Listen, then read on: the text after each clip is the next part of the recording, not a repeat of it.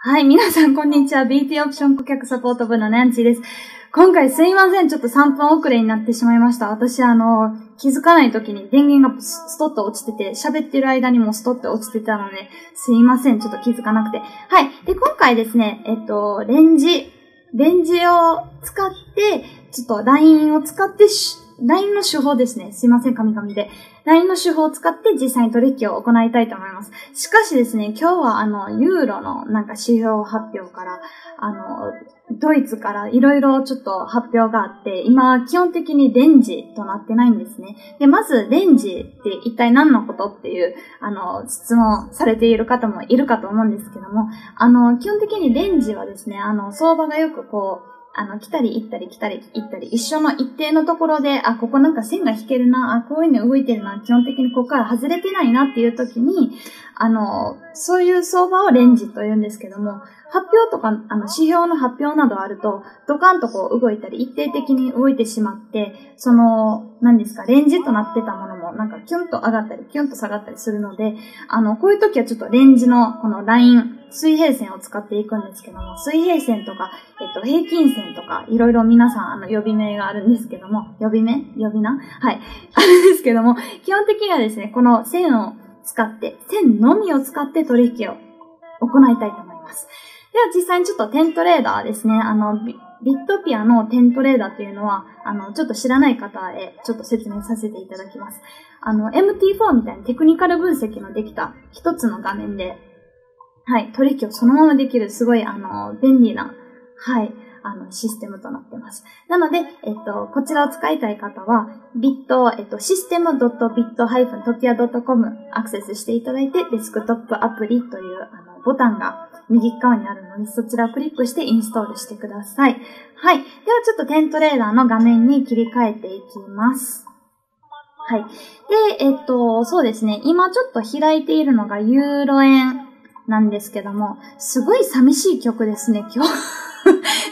すいません。ちょっとあの、別の話になってしまうんですけども、この曲知ってますか？はい。私も名前ちょっとピンと今出てこないんですけども、すごい寂しい曲です。まあそれは、あの、置いといて、はい。一人でトレードするという意味で、皆さん見ている中でも、はい。ちょっと取引を、寂しくはないですけども、やってみたいと思います。では今回、オンデマンド取引ですね。で、ユーロ円。はい。で、1分取引が好きなので、1分取引を選択しました。で、1分足ですね。で、今見ていると、あの、まずはですね、レンジ相場をちょっと見つけたいと思うので、ちょっと広げてみましょう。そうですね。ここはレンジになってないですよね。基本的にラインを引いて、こう、アップトレンドっていうのがわかります。ここの安値をちょっと一緒に重ねて引いていくと、はい。ちょっとこうかな。こう引いていくと、アップトレンドになってますよね。で、こっからちょっと下がってきてます。アップトレンドのラインが引かれてあれば、ちょっと引いてみましょうか。わかりにくいですね。えっと、安値のとこを引いてみます。そうすると、ここで、まあ仮に引いたとしたら、ここブレイクしてます。で、その後は基本的にはそうですね、ちょっとダウントレンドとも言えないぐらいですね。こう、まあ、そうかな。ダウントレンドですね。ここを今度は逆に引けるようになってるので、で、でこっからちょっとしたアップトレンドが発生してるかなっていう感じですね。なので、レンジ相場にはならないですね。ちょっと他、OG ドルとか見ていきましょう。OG ドル、あ、OG ドルちょっとトレンドっぽいですね。ちょっとトレンドっぽいところをちょっと見ていきましょう。こうやってチーッと縮めていくと、そうですね。ここちょうど水平線というのをここで、はい、選択していただいて、あ、でも、あ、ちょっと抜けちゃってるな。ブレイクしてますね。ここ基本的にここに、あのー、線を引くと次に、この子に線を引く。で、基本的にこの水平線なんですけども、水平線っていうのは、できた4つまでですね。私結構いろいろ引いてしまう癖があるんですけども、基本的には4つまでがベストです。で、水平線の引き方としてはよくタッチするなとか反発するなというラインですね。まずは高値、安値、で、間に反発するところ、で、もう一個、下でも反発するところという感じで、ここか、ここかちょっと微妙ですけど、ここの数の方が多いですね。はい。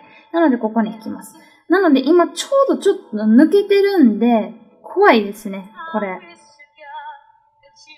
うん。抜けてますよね。抜けてるかな？まあ、あえて言うなら、こう広げてみると、ここにもまあ、タッチしては戻ってくるポイントがあるんですけど、基本的に、まあ、このあたりでしか発生してないですよね、そのポイントって。あとここと。で、短期取引、バイナリーの場合1分とかであれば本当に短期取引になるので、そうですね、私であればここを行っちゃってるので、これはブレイクで上がっていく可能性がある。しかし、この線にまた戻ってきて、ここを抜けるようであれば、私はローに購入してもいいかなと思います。抜けましたね。ちょっと1000円で一度購入をしたいと思います。しかし、もし本当にあの、ここを戻るような勢いでまた上がってくるのであれば、ちょっとそこは諦めのポイントとして、もう諦め、はい、諦めます。と言いたいところなんですけど、私マーチンゲール好きなので、またマーチンゲール手法で、この払い戻しゼロになった場合はさらに購入という方法でやってしまう癖があるんですけども、はい。基本的には、そうですね、水平線。ここで売りしたら、ここまでは次下がるだろうと予想して、あの基本的にはここでローに購入。で、ここにタッチすると、今度はまあ上がるか下がるかちょっと微妙なとこなんですけど、私だったら基本この間のところでは購入しないですね。あ、私間違ってました。これ1分取引だと思ってました。もう本当にどんくさいですね。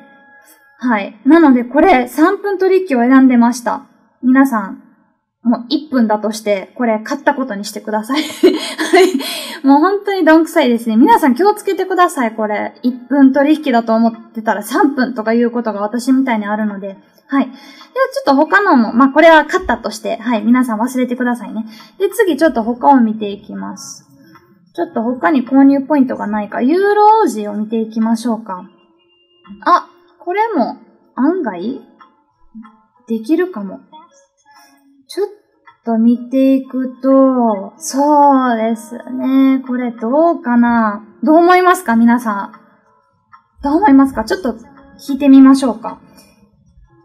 微妙ですよね、ここ、本当に。二つのポイントしか引けないんですけども、ここをこう引けば、自分、自分のなんか取引したい方向に向いて引いてないナンシーみたいなこともなんかちょっと声が聞こえてくるんですけども、えっ、ー、と、これが正しいですよね。だからちょっとブレイクっぽい。でもなんか戻ってきてるっぽい。だからこれはダウントレンドですね。レンジ相場にはならないですね。でも本当に、あの、あ、なんか変なとこに。なんだこれ。はい。消しました。もう一度ちょっと水平線が引けるかどうかをちょっと見ていきましょう。っていうのはここ、ワンポイントですね。よくなんか来るようなところですね。短く見れば。で、反発する他のラインで言うと、このあたりですかね。ここぐらいかな反発よくしますよね、ここも。で、もう一つ引くなら、このあたり、よく反発、ここタッチしてはなんかここ戻っていくな、みたいな、ここですよね。で、あえて言うのは、あんまり引かない方がいいんで、本当に3本で十分だなって思うときは、それでも全然問題ないと思いますね。はい。でも、あえて言うなら、私が今いる、この、今いるっていうか、レートが今 存在するところですね。を考えれば、もう一つぐらい線、短期取引なので、線を引こうと思えば、このあたりですかね。はい。で、一度ちょっと大きめな、この取引、ビヨンってここを伸ばして、はい、大きく見ると、まあ、こんな感じかなーっていうのが分かれば、今度はキューッと絞っていきます。あ、見てください。いい感じですよね。この線はちょっと何がしたかったのか自分でわかんないので、ちょっとこれは消します。はい。という感じで、またこれ、そうですね。私であればですね、ここまでタッチ来たら、はいに購入しますね。その準備をします。1分取引。間違いないですね。ユーロ王子。はい。これでちょっとやろうと思います。で、もし、ここに本当に来ない場合ですね、もうそれはもう諦めて、上がれば上がっただけもう諦めて、もう基本的にはこの上にタッチした場合はロー、ここにタッチした、下のあの水平線、平均線ですね、にタッチしたらはいということで、それ以外のところでは購入しないっていう場合であれば、額を上げてもいいかなと思います。まあ私であれば額を上げますね。はい。しかし、しかし、来るんでしょうか？ここ。早く来てほしいですね。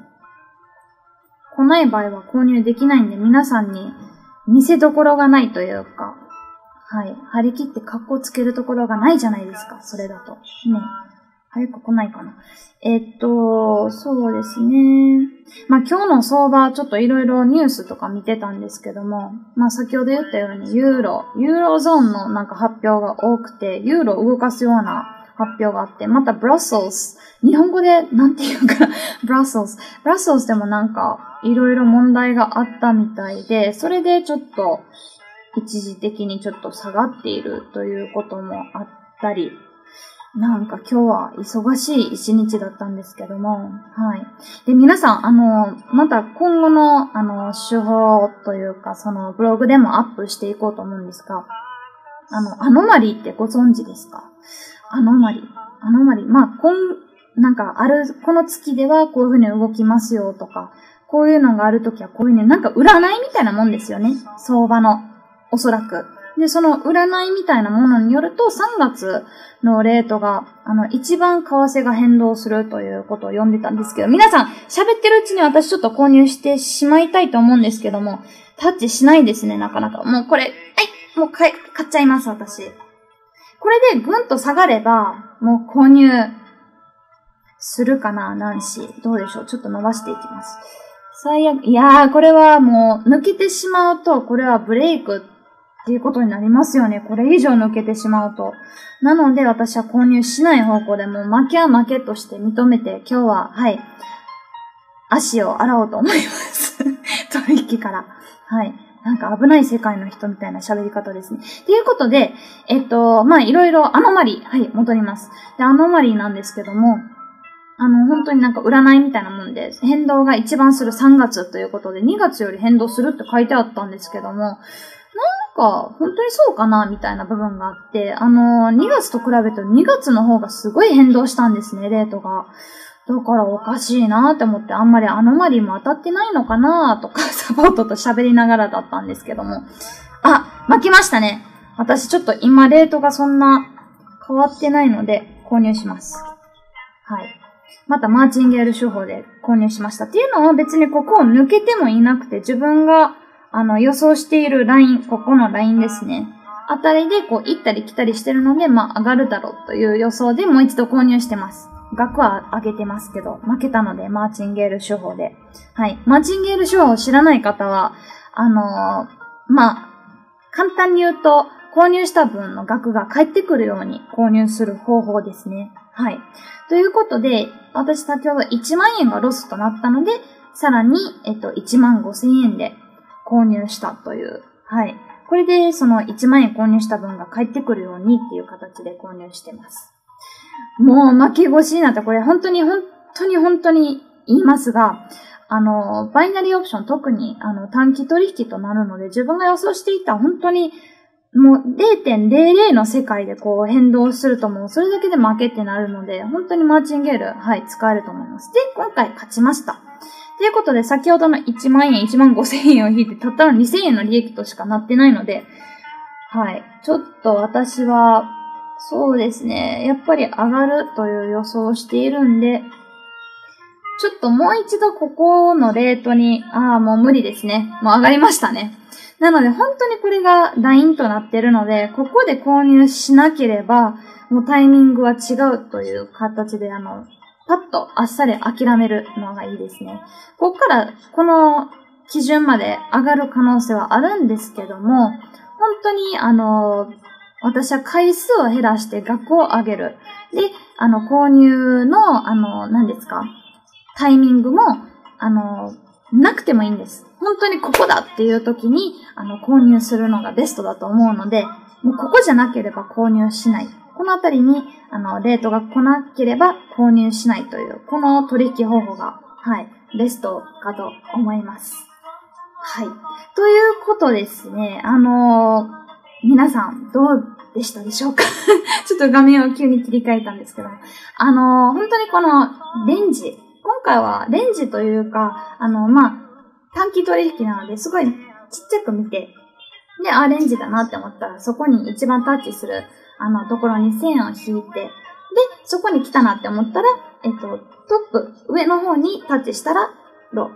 下にタッチしたら、はい。ということで、本当にこの間では私は取引をお勧めしないですね。特にマーチンゲールとか、あの、マーチンゲール法則を入れて、手法を入れて取引するなら、本当にここだけで取引をする。そこを抜けてしまうと逆にもう取引はせずに、あの、まあ、ブレイクショーで順張り型で順張りをするのもいいんですけども、私はちょっと逆張り派なので、あの、基本的に上にタッチしたらロ、下にタッチしたらはいということで、そこを抜けてしまうと、諦める という取引方法で、はい、皆さんも試していただけたらと思います。では、今回は LINE、あの、水平線、平均線ですね、を使っての取引となりました。あの、今度の次回も、はい、楽しみにしててください。では、Thank you so much for watching. Goodbye, everybody.